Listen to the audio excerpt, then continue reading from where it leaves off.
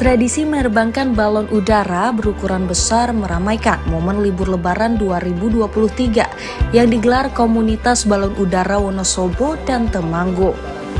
Yang satu ini digelar di lapangan Desa Kledung, Kabupaten Temanggung, Jawa Tengah pada Kamis 27 April.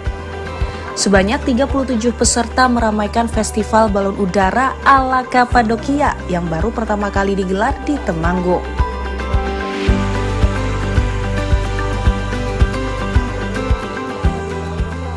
Ketua Panitia Festival Sulistiono mengatakan menerbangkan balon udara di festival ini tidak dilakukan dengan sembarangan.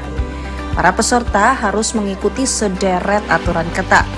Aturan ini dibuat dan ditegakkan tentu agar tidak membahayakan jalur penerbangan pesawat. Ada kriteria-kriteria yang telah ditentukan. Yang pertama harus pakai pengait.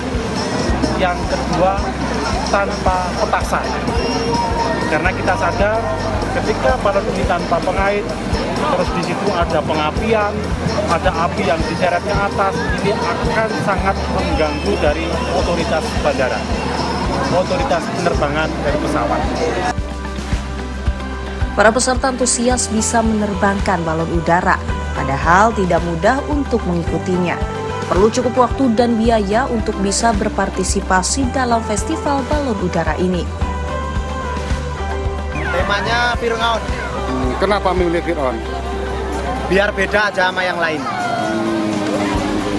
Ini dikerjakan berapa lama ini kalau ini? Ini berapa ya? Sekitar kurang lebih dua bulan. Hmm, Ya. Menghabiskan berapa?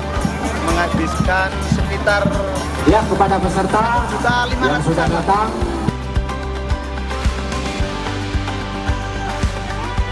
Festival balon udara digelar di Temanggung untuk memfasilitasi warga yang ingin menjaga tradisi, namun dilakukan secara aman tanpa mengganggu jalur penerbangan pesawat. Tradisi menerbangkan balon udara menjadi hiburan tersendiri bagi warga setempat dan menjadi salah satu alternatif di masa libur lebaran. Dari Temanggung, Jawa Tengah, Firman Eko Handi, Kantor Berita Antara, mewartakan.